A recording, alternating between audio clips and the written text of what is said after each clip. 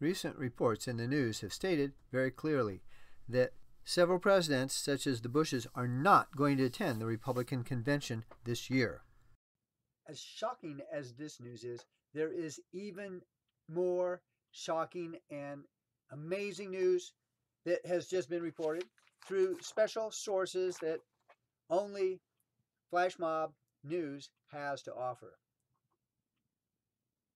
Our special sources have revealed that additional presidents are not going to be appearing at the Republican convention. They include Richard Nixon, Gerald Ford. Unbelievably, Ronald Reagan also will not be at this convention.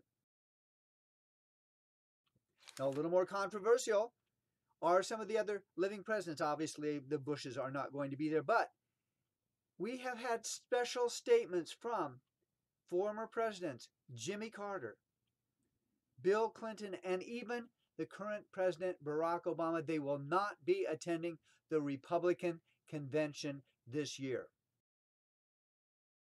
Heard it first here on Flash Mob News.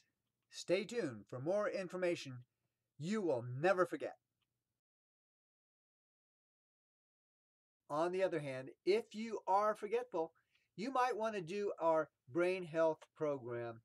It's online. Go to theredwoodclinic.com forward slash brain hyphen consultation to register and for all the details.